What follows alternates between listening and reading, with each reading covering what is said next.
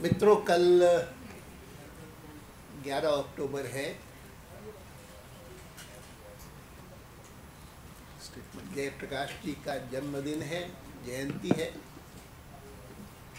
और कल से यह जन चेतना यात्रा या, यात्रा आरंभ होने जा रही है। मैं कल प्रातःकाल यहाँ से जाऊँगा। जयप्रकाश जी के जन्म स्थान पर, जो कि बिहार और उत्तर प्रदेश की सीमा पर स्थित है। शताब्दी आरा। और वहाँ से यात्रा शुरू करके, और 20 नवंबर को वापस दिल्ली पहुंचूँगा।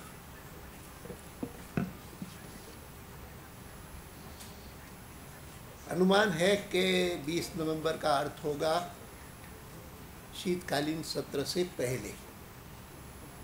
अनुमान है कि 21 तारीख को शायद शुरू हो। 20 से पहले शुरू नहीं होगा, यही एक अनुमान है।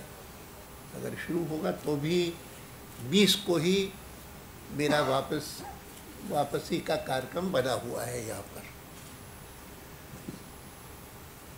और,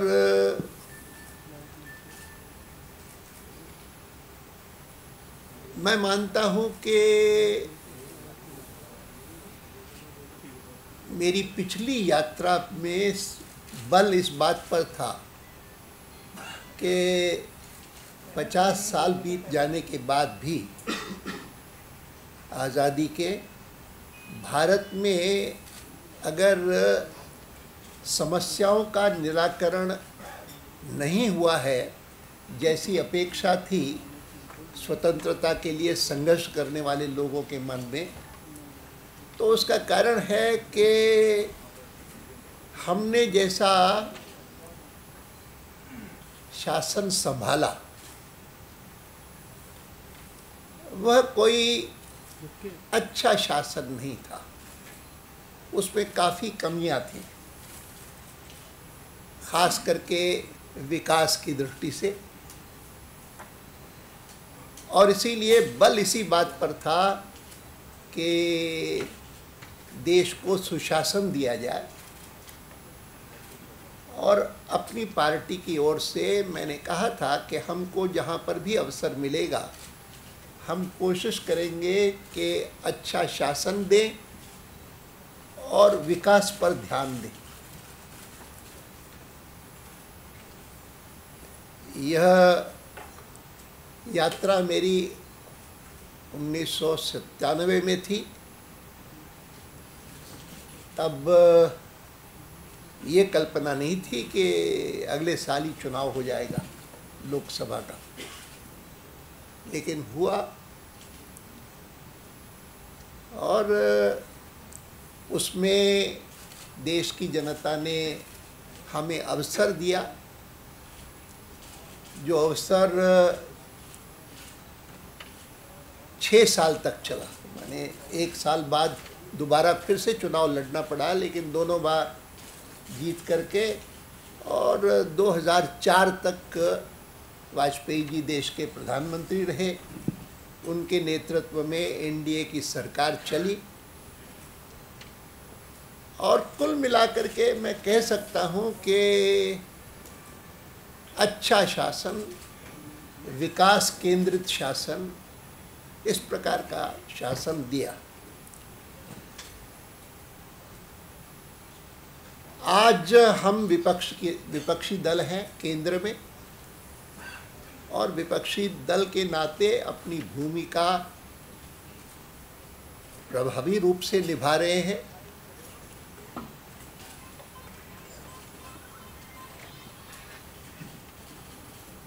लेकिन, पिछले दिनों में जो नेतृत्व देश को मिला है,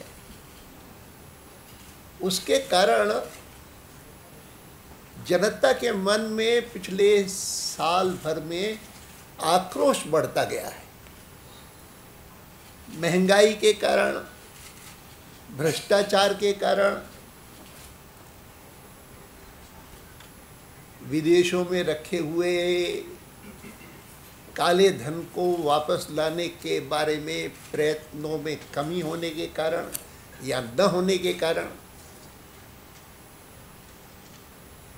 ये सब फैक्टर्स मिला करके जनता में आक्रोश बढ़ता गया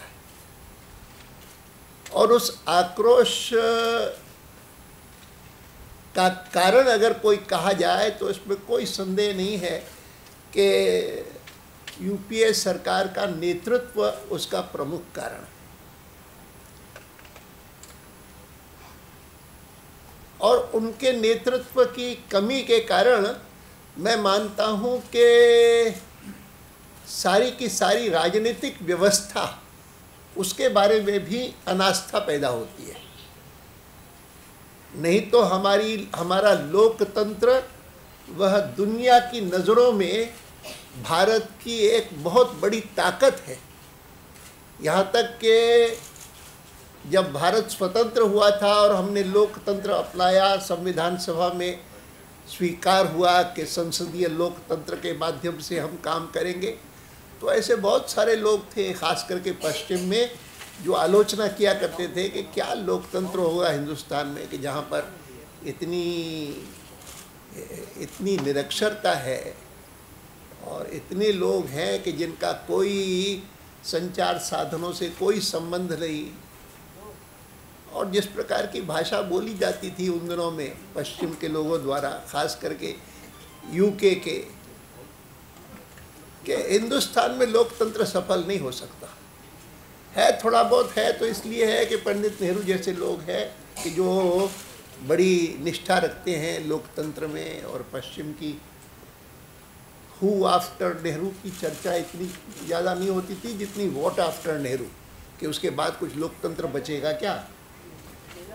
मैं इस बात का ज़िक्र इसलिए कर रहा हूँ कि मैं मानता हूँ कि जितनी क्षति लोकतंत्र की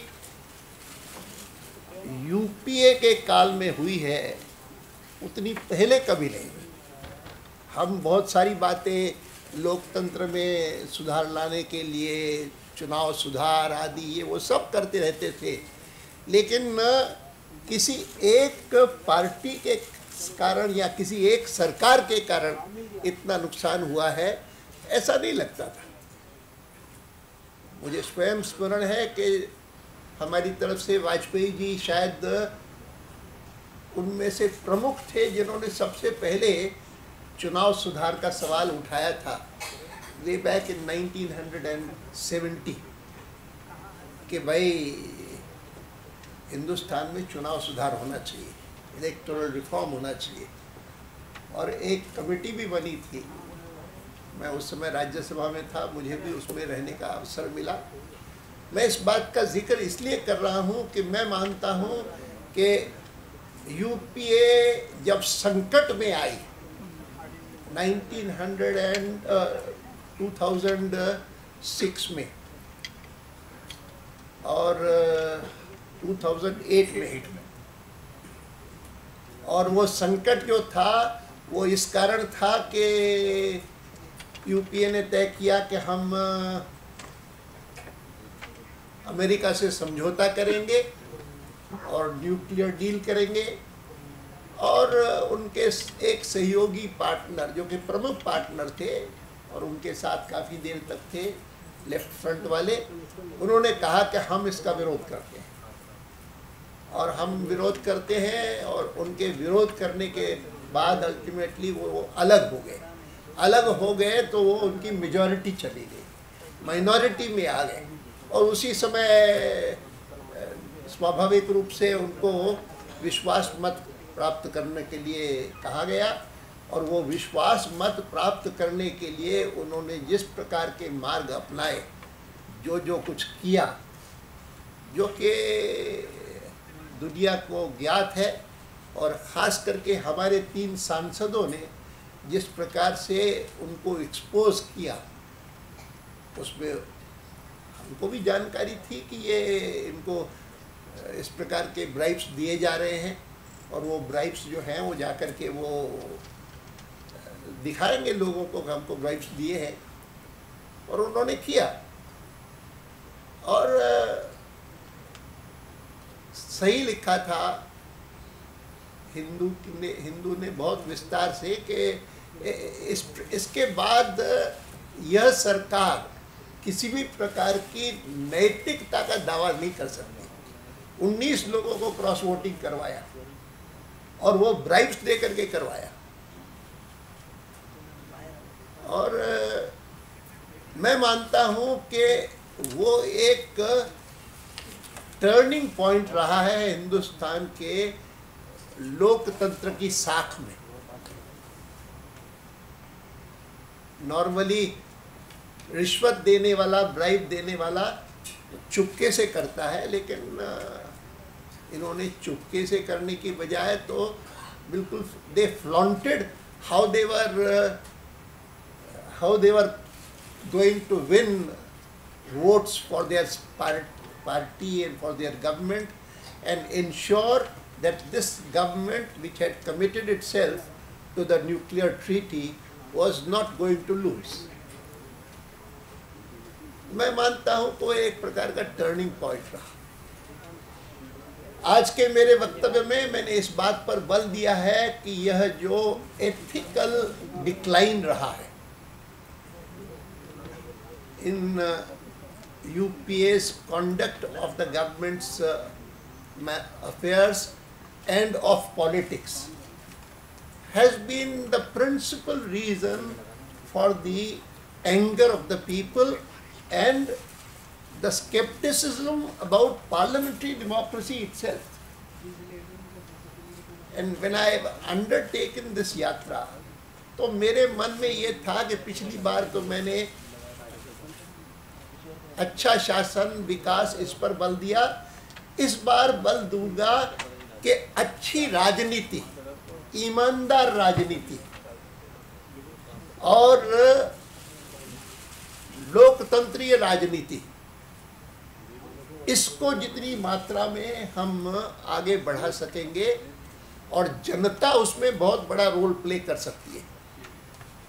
मैं साधुवाद देता हूँ सिविल सिविल सोसाइटी के संगठनों को जिन्होंने पिछले दिनों में भ्रष्टाचार के इशू को लेकर के, लोकपाल के इशू को लेकर के, काले धन के इशू को लेकर के और जनता में चेतना पैदा की है इसके खिलाफ।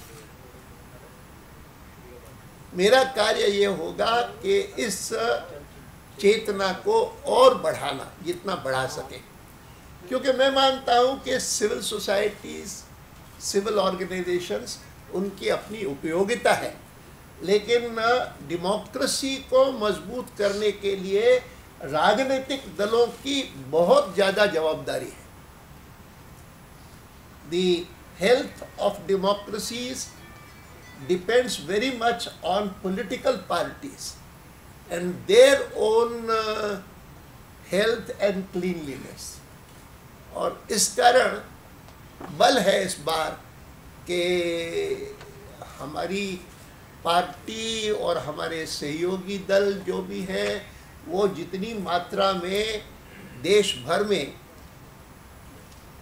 good governance and clean politics में इन्वॉल्व होकर के जनता में जागृति पैदा करे, उतना अच्छा होगा।